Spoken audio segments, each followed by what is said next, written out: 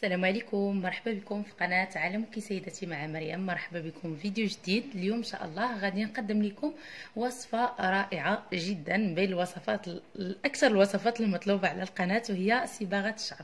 غنقدم لكم هذه الوصفة اللي أنا شخصيا كنجربها منذ سنوات وكنديرها منذ سنوات وكتعطي آه، لون رائع رائع رائع جدا للشعر. غادي نشرح لكم المكونات الطريقة وكيفاش تقدروا يعني تعطيكم لون رائع للشعر ديالكم.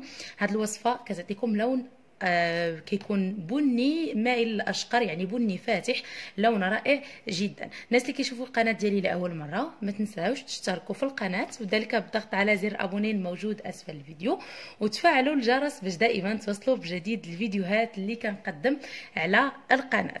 غادي نبدأ معكم الان المكونات ديال هاد الوصفة. غادي نحتاجوا في هاد الوصفة زيت الزيتون غنحتاجوا نصف كأس من زيت الزيتون.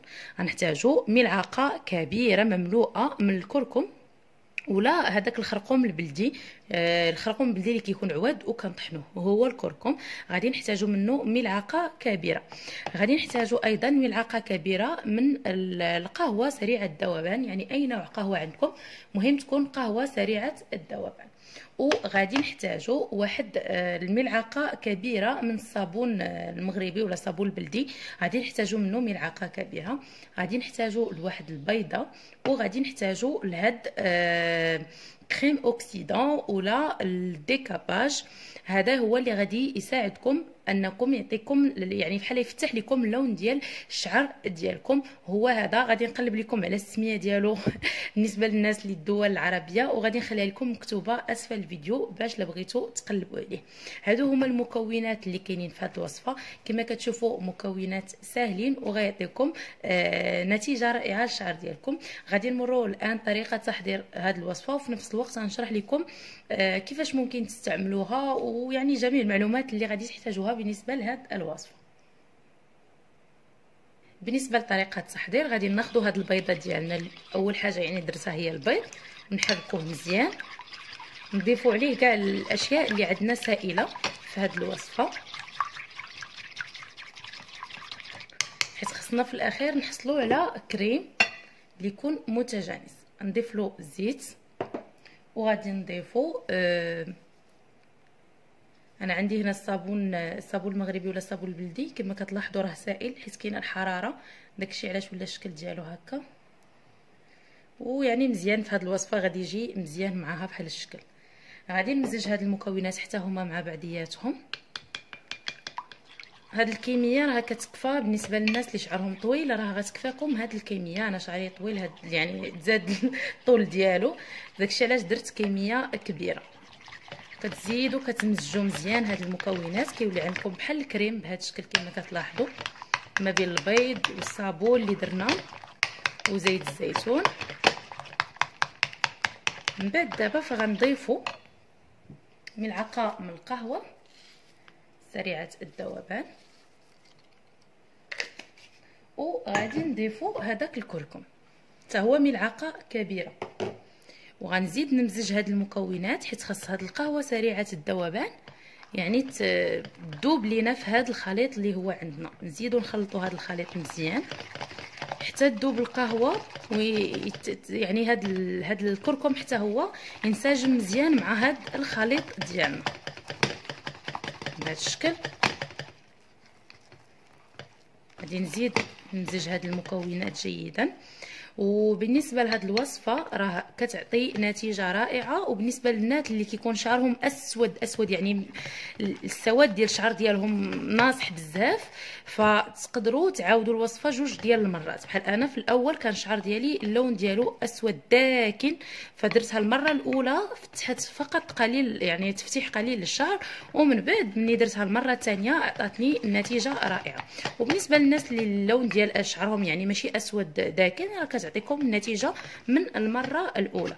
غنزيد نمزج هذه ما خصش يبقاو عندنا الحبيبات ديال الحبيبات ديال القهوة سريعه الذوبان ما يبقاوش في هذا المزيج.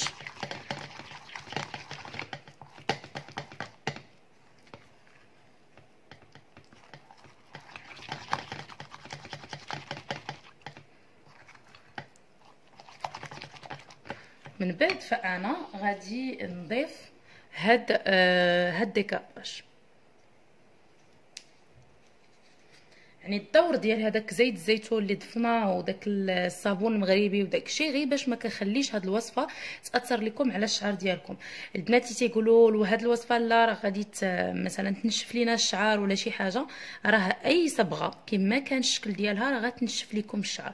وصبغة اللي كتكون طبيعية 100% وما فيهاش حتى إضافات مثلا بحال هاد الكريم أوكسيدون ولا شي حاجة راه تعطي النتيجة ولكن النتيجة ثقيلة ومرات متعددة. خصك تعاودي الوصفة باش تعطيك النتيجة. يعني هاد الإضافة هي اللي كتعطيك نتيجة سريعة.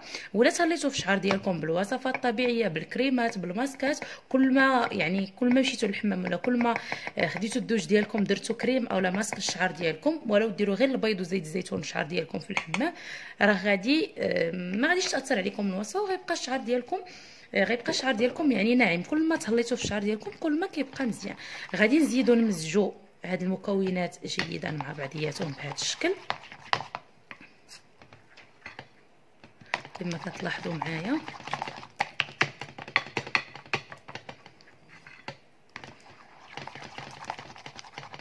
وكنحصلوا على خليط بهذا الشكل كما كتشوف. يعني هذا هو المزيج اللي غادي نطبقوا على الشعر ديالنا. غنمروا الآن طريقة تطبيق هذا الخليط. بالنسبة لطريقة عمل هذه الوصفة غادي نشدو الشعر ديالنا كنمشطوه مزيان كنفرقوه لخصلات صغيرة. ضروري أنكم توضعوا القفازات في اليدين ديالكم باش ما كيبقاش لكم هذاك اللون في اليدين ديالكم. آه وضعوا القفازات في اليدين ديالكم قبل ما تطبقوا هذه الوصفة. كما قلت لكم كنمشطو الشعر ديالنا وكنقسموه خصلات صغيرة. هي من الأفضل إلا كان شي واحد اللي يقدر يطبق لكم الوصفة على الشعر ديالكم غادي يكون أفضل. إلا ما كانش ماشي مشكل غديروها بوحدكم.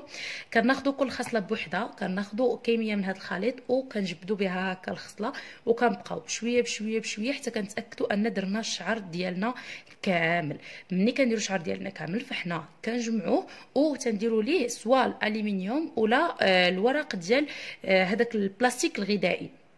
أنا جبتهم باش نوريهم لكم. سواء البلاستيك الغذائي ولا الالومنيوم هما اللي تنديروا على آه، الشعر ديالنا وكنخليو هاد الوصفة. بالنسبة للمدة اللي كنخليو بها هاد الوصفة بغيتو يكون عندكم يعني أشقر لونه داكن فانتوما كتخليو هاد الوصفة لمدة ديال 3 سوايع بغيتو يكون عندكم أشقر فاتح فكل ما خليتوها أكثر من 3 سوايع 4 سوايع ولا أكثر فهي كتعطيكم أشقر فاتح للشعر ديالكم. من بعد فحنا كنغسلوا الشعر ديالنا عادي بالشامبو تقدروا ديروا شي ملين للشعر باش يعني تحميو الشعر ديالكم من هاد آه هاد المنتوج واللي درنا على الشعر ديالنا. هاد الوصفة كما قلت لكم الناس اللي عندهم اللون أسود داكن يعني غتفتحوا لكم في جوج ديال المرات والناس اللي أصلا اللون ديالهم فاتح شي شوية فمن المرة الأولى غادي تعطيكم نتيجة. وكل ما حسيتوا باللي اللون بدا كيمشي لكم الشعر ديالكم يعني تقريبا اللون راه كيبقى معكم مدة طويلة. شهرين بحال ما هكاك عاد تقدروا آه يعني ديروا الوصفة مرة أخرى. كل ما حسيتوا باللون بدا كيمشي لكم الشعر ديالكم عاودوا الوصفه من جديد وأكيد أكيد غادي تنال الإعجاب ديالكم. البنات اللي غادي يجربوها ما تنساوش تكتبوا لي في التعليق الرأي ديالكم والبنات اللي سبق ليهم جربوا هذه الوصفة حيت سبق وكنت قدمت واحد الوصفة بحالها في القناة شحال هذه شي عام ونص دابا ولا عامين. البنات اللي سبق ليهم جربوا الوصفة شاركوا معايا الرأي ديالكم فيها. آه ما تنساوش دارات حسابي على الإنستغرام عالم كي غنخلي لكم أسفل هذا الفيديو. نشوفكم فيديو جديد إن شاء الله والسلام عليكم.